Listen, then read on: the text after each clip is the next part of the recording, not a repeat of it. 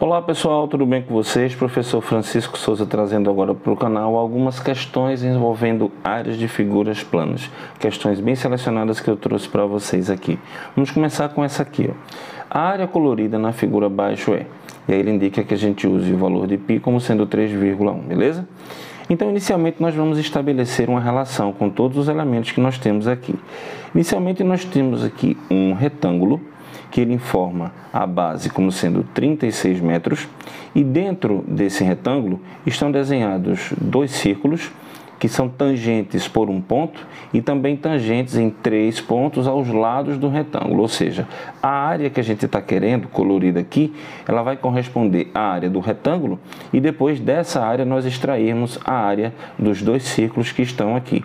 Como eles são tangentes entre si e tangente ao retângulo, então a gente já sabe que são dois círculos exatamente iguais.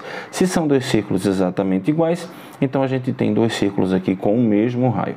Então vamos estabelecer logo a relação. A área colorida, que a gente está querendo, vai ser a área do retângulo, que eu vou chamar de AR, menos duas vezes a área desse círculo, já que são círculos exatamente iguais, então duas vezes a área do círculo. Ok, tanto para calcularmos a área do retângulo quanto para calcularmos a área do círculo, a gente precisa determinar a medida desse lado aqui, mas observe que esse lado aqui, que corresponde à altura desse retângulo, ele vai corresponder também ao diâmetro do círculo. Daqui para cá a gente vai ter a altura do retângulo e daqui para cá a gente vai ter o diâmetro do círculo. Então vai ficar fácil a gente estabelecer essa medida observando o seguinte detalhe.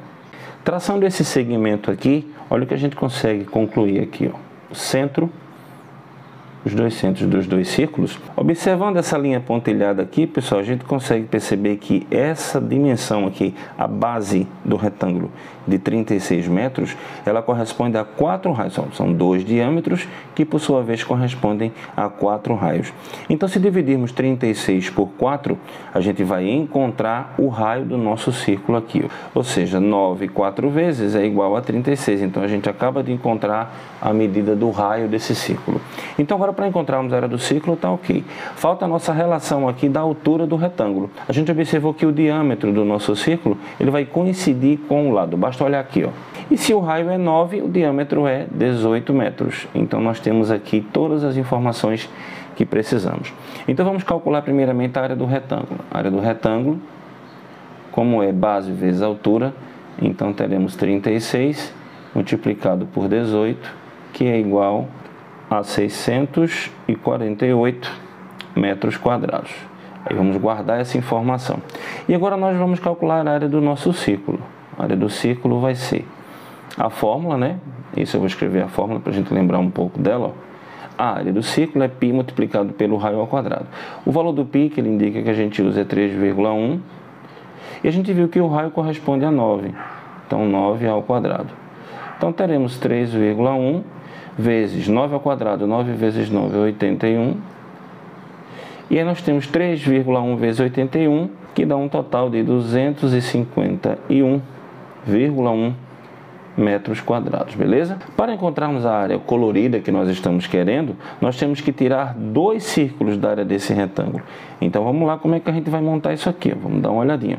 A área colorida vai ser a área do retângulo, que a gente encontrou aqui, que é 648, menos duas vezes a área do ciclo. A área do ciclo foi 251,1. Então, realizando a multiplicação primeiro, a área colorida vai ser 648 menos 2 vezes 251. 2 vezes 251 vai ser igual a 502,2. Então, agora fazendo a subtração, a gente chega aqui ao valor final de 145,8 metros quadrados. Sendo assim, a alternativa correta dessa questão é a letra D.